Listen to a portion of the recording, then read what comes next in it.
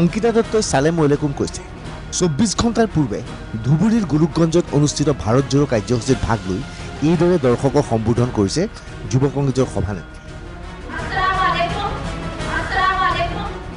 অংকিতা দত্তই এতিয়া নিজকে মুছলমানৰ ঘনিষ্ঠ বুলি প্ৰতিপন্ন কৰিবলৈ চেষ্টা চলাইছে। আচলতে অংকিতা দত্ত এতিয়া বিপদত পৰিছে।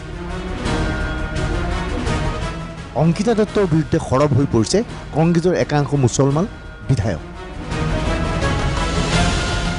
একাংশ নেতাৰ সহযোগত এতিয়া অংকিতা দত্তক অপসাৰণৰ প্ৰস্তুতি চলাইছে কংগ্ৰেছৰ জ্যেষ্ঠ নেতাসকলে। যুৱ কংগ্ৰেছৰ সভাপতি পদৰ পৰা অংকিতা দত্ত অপসাৰিত হোৱাটো নিশ্চিত হৈছে। আনুষ্ঠানিকভাৱে দুই এদিনতে সভাপতি নিৰ্বাচনৰ দিনাংক ঘোষণা কৰিব কংগ্ৰেছে। মাত্ৰ ন মাহতেই সভাপতিৰ পদ হেৰুৱাব অংকিতা দত্তই। নিয়ম অনুসৰি তিনি বছৰৰ কাৰ্যকাল আছিল অংকিতা দত্তৰ। কংগ্ৰেছ এতিয়া শাসনত নাই। কংগ্ৰেছে এতিয়া বিৰোধীৰ ভূমিকা পালন কৰিছে। বিৰোধীৰ শিবিৰত থাকি যুৱ কংগ্ৰেছৰ সভানেত্ৰীৰ দৰে গুৰুত্বপূৰ্ণ দায়িত্ব লৈ অংকিতাই বিগত সময়ছোৱাত কংগ্ৰেছৰ হৈ বহুবোৰ কাম কৰি গৈছিল ঘনে ঘনে প্ৰতিবাদৰ কাৰ্যসূচীত অংশগ্ৰহণ কৰিছিল। আৰক্ষীয়ে কেইবাবাৰো গ্ৰেপ্তাৰ কৰিছিল যুৱ কংগ্ৰেছৰ সভানেত্ৰী। কিন্তু সেই অংকিতা দত্তৰ বিৰুদ্ধে এতিয়া সৰব হৈ পৰিছে কংগ্ৰেছৰ একাংশ ধৰ্মীয় সংখ্যালঘু নেতা। অভিযোগ মতে ৰকিবুল হুছেইনৰ তৎপৰতাত কংগ্ৰেছৰ একাংশ ধৰ্মীয় সংখ্যালঘু বিধায়কে অংকিতা দত্তক অপসাৰণ কৰিবৰ বাবে চেষ্টা চলাইছে। এই ক্ষেত্ৰত দেৱব্ৰত শইকীয়াই গুৰুত্বপূৰ্ণ ভূমিকা পালন কৰিছে বুলি দাবী কৰে কংগ্ৰেছৰ এটা শিবিৰে। কিন্তু প্ৰশ্ন হৈছে অংকিতা দত্তৰ বিৰুদ্ধে কংগ্ৰেছৰ এই শিবিৰটো সৰব হৈ পৰিছে কিয়?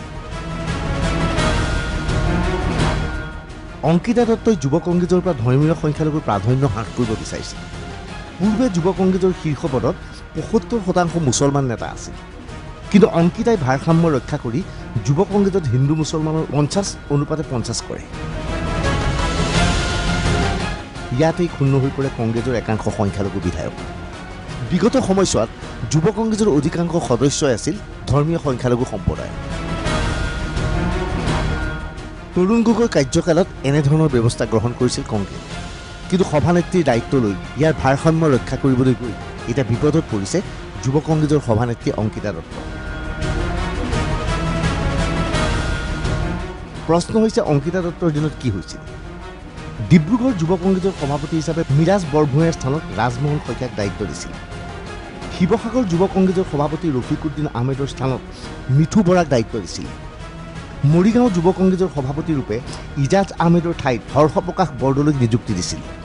কামৰূপ মেট্ৰ'ৰ জিলা সভাপতি আমিৰ হুছেইনক আঁতৰাই হীৰক ৰাজবংশীক সভাপতি পাতিছিল। কাছাৰ জিলা কংগ্ৰেছৰ সভাপতি জাভেদ আখতাৰে লস্কৰক আঁতৰাই ৰঞ্জিত দত্তক সভাপতি পাতিছিল।